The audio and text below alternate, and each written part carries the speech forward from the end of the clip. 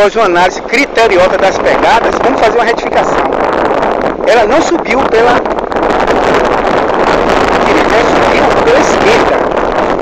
Pelo movimento das patas, aqui ó, a nadadeira dianteira e traseira, aqui é descida. Percebemos claramente a curvatura da, da nadadeira dianteira. E aqui em seguida temos os detalhes da ponta da traseira.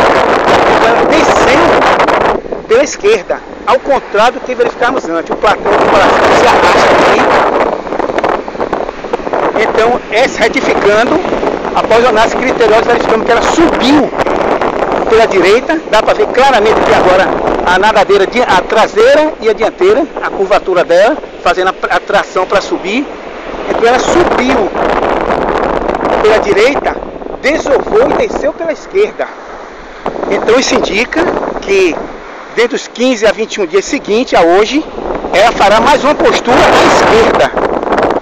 Estamos aqui verificando para que se ela fizer de novembro o paredão, vamos ter que socorrer a ninhada essa dignidade para um lugar seguro.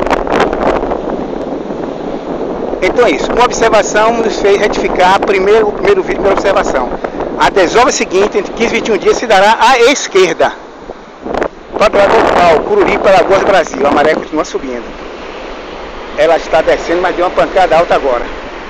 Vamos, nos, vamos apagar os rastros, apesar de não deixar nenhum ovo aqui, mas se deixarmos aqui, eles vão saber que vai ter postura nos próximos dias e estarão atentos. E aqui procuraremos diminuir a possibilidade de visualização por parte dos extrativistas, que precisam ser educados, que são animais frágeis, vulneráveis e que precisam ser protegidos. Praia da Ouro Pau, 3 de dezembro de 2016. Maré vazante, 4h40 essa madrugada, Curipe, Alagoas, Brasil.